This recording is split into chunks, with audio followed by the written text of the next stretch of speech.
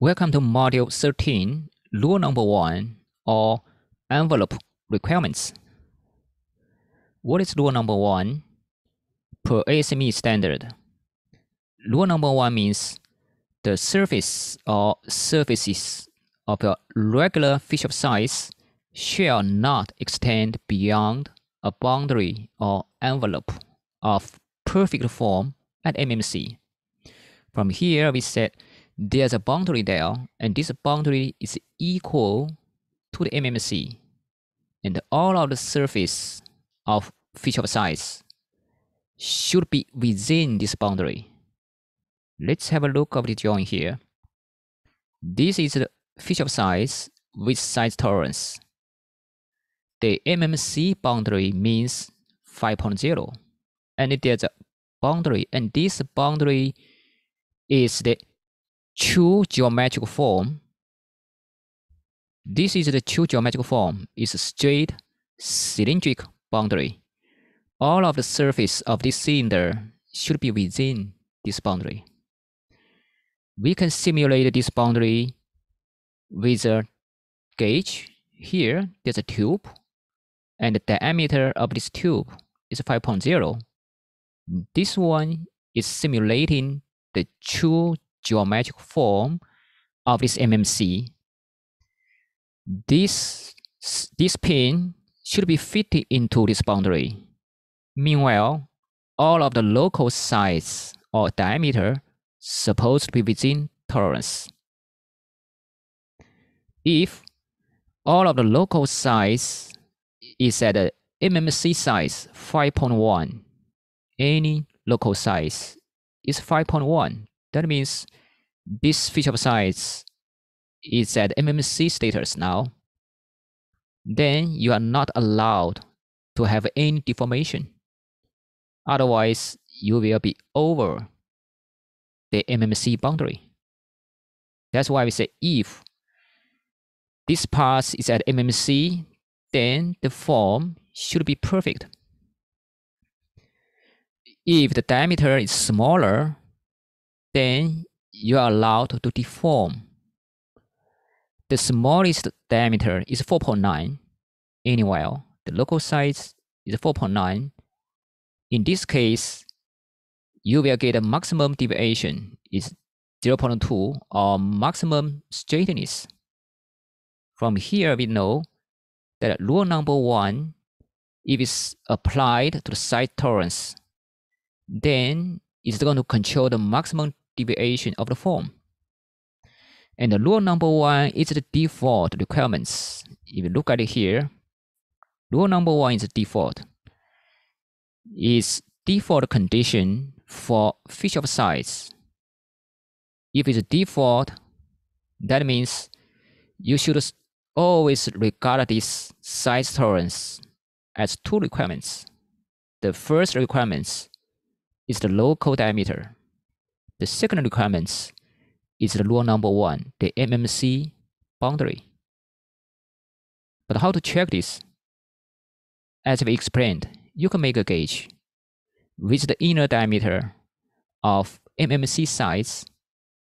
These parts supposed to be go through this gauge.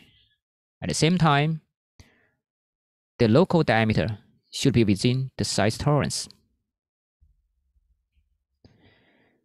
Here is the relationship between the local size and form tolerance.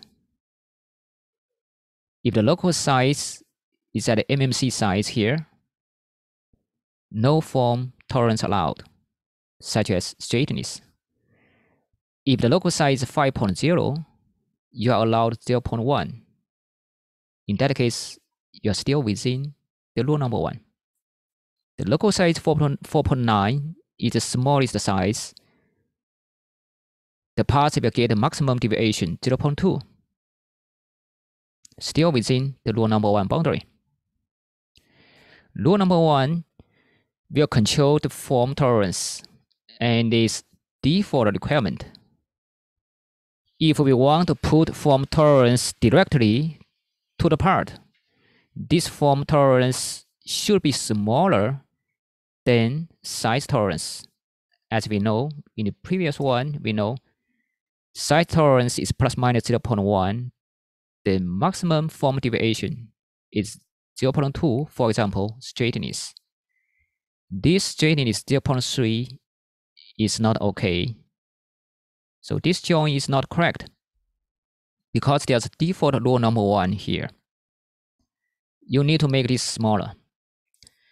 Next, since rule number one will apply to the pin, it will also apply to any feature of size, such as hole. This is the hole, and here there's a rule number one default requirement. The rule number one means the MMC boundary, and here is a boundary here. MMC for the hole is the smallest hole, it's 5.0 we can use a gauge pin to simulate this true geometric form at MMC is 5.0 pin gauge, and this is to simulate the MMC boundary. We can use this gauge to verify that this part is satisfying the rule number one requirements. But before we doing that, we have to verify the local diameter is okay. You're going to check each section, the local diameter is within the tolerance. And then you can verify this gauge to check the rule number one is okay or not. Rule number one in ISO GPS, we call these requirements as envelope requirement. The symbol is circle E. And the envelope requirement for ISO GPS is not default. You have to put this symbol behind the size tolerance. In that case, you have a MMC boundary requirements here, or rule number one.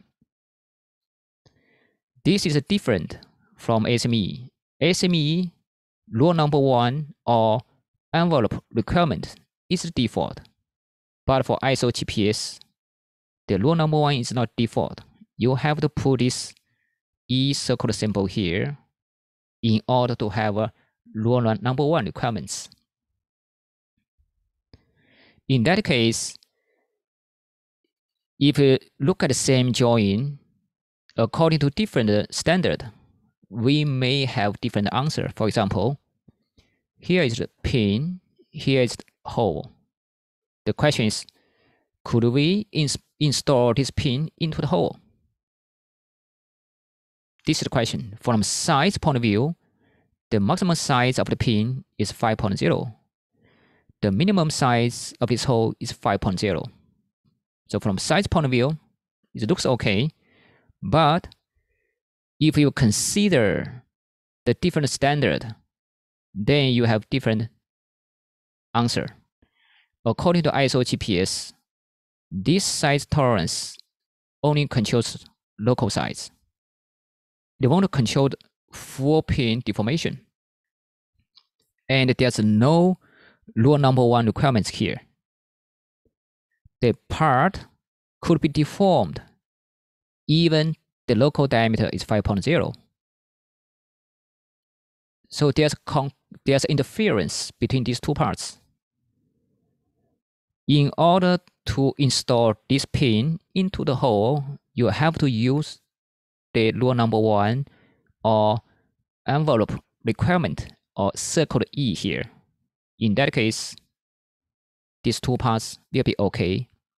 Here is the MMC boundary, and here is the MMC boundary for the hole.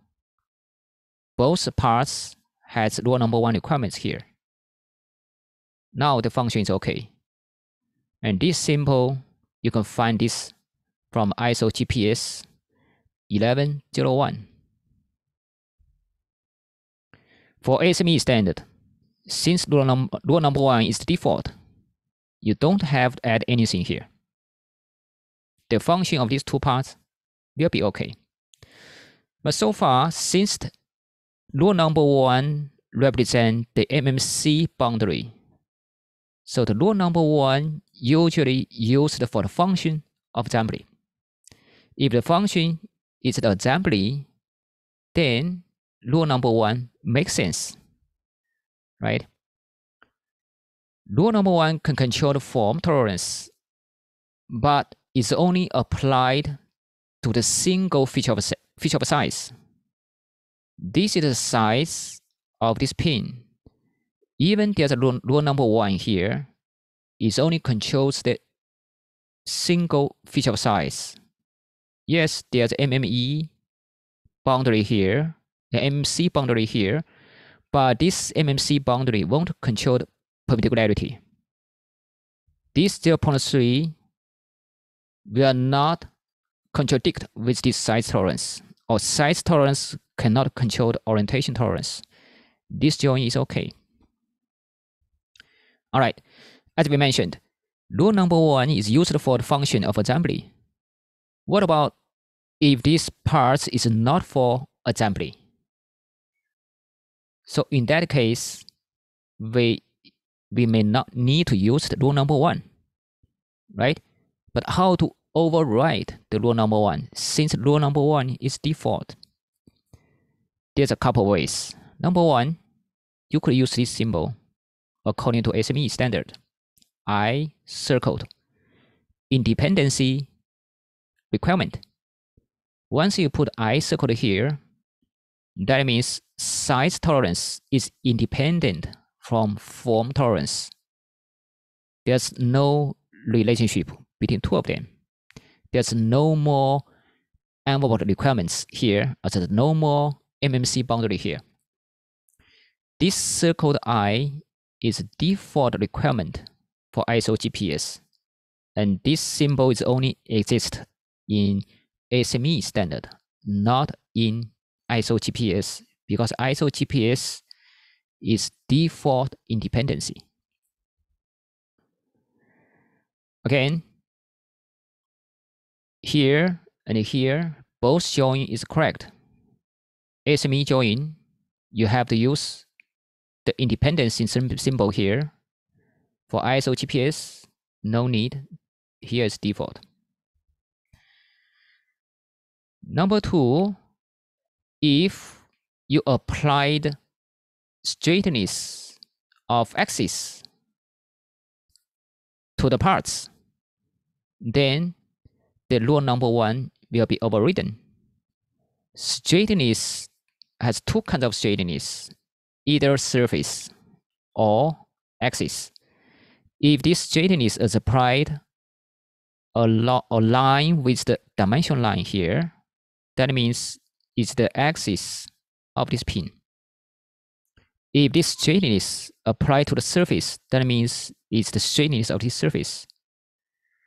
As we said here, straightness control applied to feature size such as axis, right? In that case, there's no more rule number one. This tolerance value is allowed to be bigger than size tolerance. Another situation is flatness applied to the medium plane here, or the center plane. You see here? Here's flatness. Flatness can be applied to the surface or can be applied to the center plane here or the medium plane. You see, here is a line with this dimension line. That means the medium plane of two surfaces will be controlled by this flatness. We will explain this in the later module about the flatness to medium plane. But so far, all we need to know is if the flatness applied to the medium plane, then there's no more rule number one. Same here. Same thing here.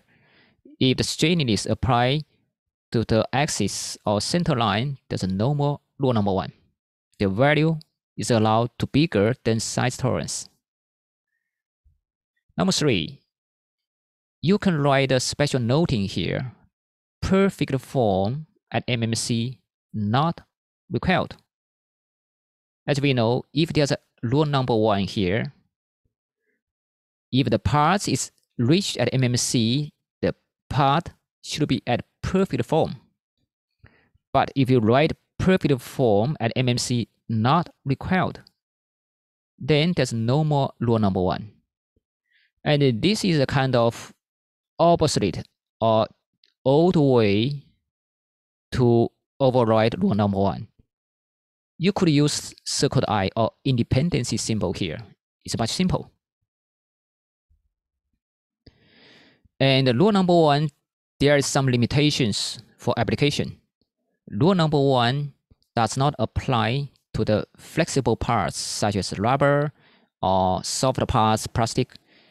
And rule number one does not apply to stock size such as bar stock, tubing, sheet metal, or structure shape, because those kind of those kind of material is governed by the industrial standard, and all of the tolerance remains in the as furnished condition.